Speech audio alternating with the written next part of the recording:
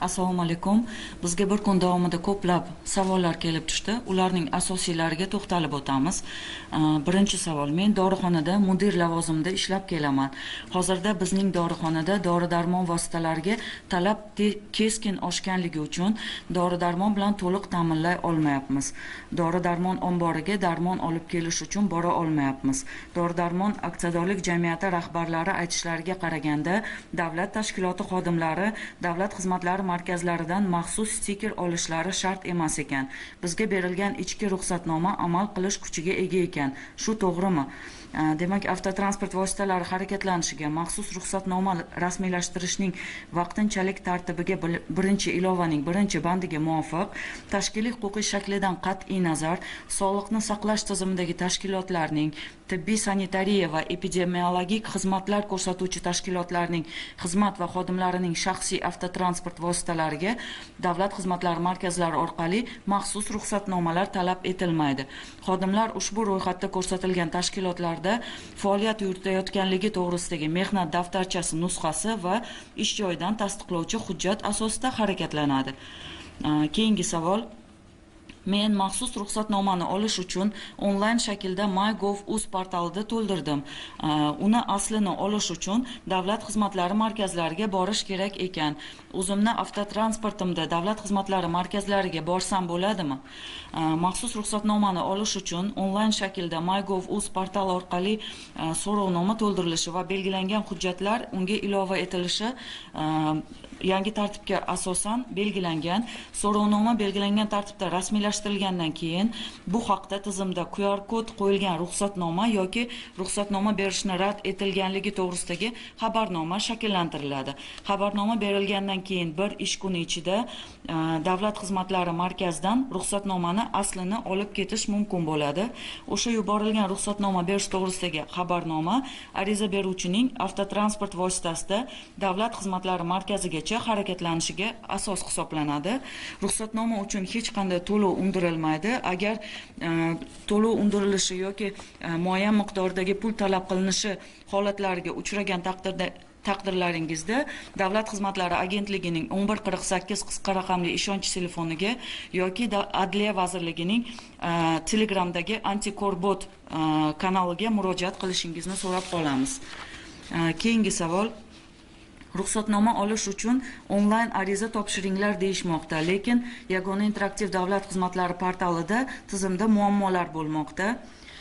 Hurmatli fuqarolar yagona interaktiv davlat xizmatlari portali ham tizim bir vaqtni o'zida minglab odamlar murojaat yuklanganda albatta e, yuklama ya'ni nagruzka bo'lishi tabiiy. Masalan hozirga qadar e, mazkur tizim orqali to'qson mingdan ortiq ya'ni aniqlashtiradigan bo'lsak to'qson ikki mingdan ortiq e, arizalar kelib tushdi. Bularni ko'rib chiqib qayta ishlashga ham vaqt talab etiladi. Shuningdek elektron tarzda arizalarni yuborishda fuqarolarimiz tomonidan stiker berish e, toifalariga mos bo'lmaganlar tomonidan arizalarni yuborishlari e, belgilangan hujjatlarni to'liq biriktirilmaslik holatlari ruxsat berish rad etilgan arizalar bo'yicha yana qaytadan ariza yuborish holatlari e, tizimda yuklama bo'lishiga va yuborilgan ariza yana qayta yuborilgan taqdirda qayta ishlanishiga olib ketmoqda olib kelmoqda. Bu esa muayyan bir vaqtni talab etadi. Bugungi kunda davlat xizmatlari markazlarining xodimlari tunu kun dam olish kunlari dam olishsiz e, ishlamoqda. E, bugungi kunda e, masalan toshkent shahri misolida oladigan bo'lsak bir yuz to'rtta xodim tumanlardagi davlat xizmatlari markazlarida faoliyat olib E, faoliyat yuritmoqda. Ya'ni aynan mazkur maxsus ruxsatnomalarni e, berish uchun ishlamoqda. E, shunga siz yuborgan ariza bo'yicha ruxsatnoma berilishi haqidagi xabarnoma tizimda shakllanganidan keyingina davlat xizmatlari markazlariga tashrif buyurishingizni iltimos qilib qolamiz tushunishingizga umid qilamiz. Keyingi savol markazlar orqali berilishi belgilangan toifadagi shaxslarni tog'asi amakisi xolasi yaqin qarindoshlari Э, davlat xizmatlari markaziga borsa bo'ladimi mazkur ruxsatnomalarni olish uchun degan savol e, kelgan.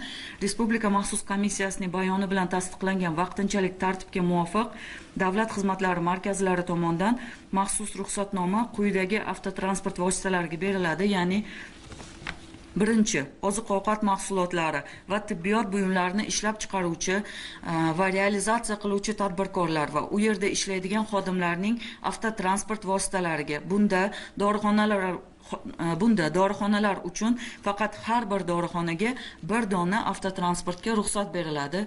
Ikkinchi umumiy ovqatlanish korxonalarining yetkazib berish xizmati ya'ni kuryer va dostavka ko'rsatayotgan avtotransport vositalari shuningdek mazkur korxonalarda doimiy ishlovchi xodimlarning shaxsiy avtotransportiga.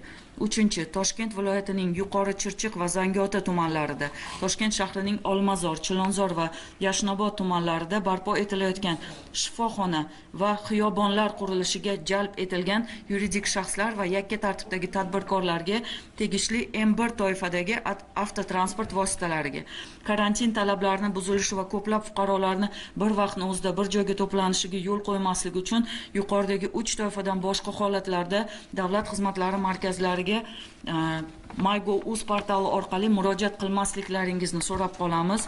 Ushbu talablarni barchasi siz va yaqinlaringizni sog'ligi uchun yurtimizda ushbu qiyin vaziyatdan imkon qadar tezroq chiqish uchun qilinayotganligini tushunishingizni so'rab qolamiz. Aholiga davlat xizmatlari ko'rsatish sohasiga oid yangiliklarni davlat xizmatlari agentligining ijtimoiy tarmoqlardagi sahifalari orqali kuzatib borishingiz mumkin. Elektron davlat xizmatlaridan foydalaning salomat bo'ling.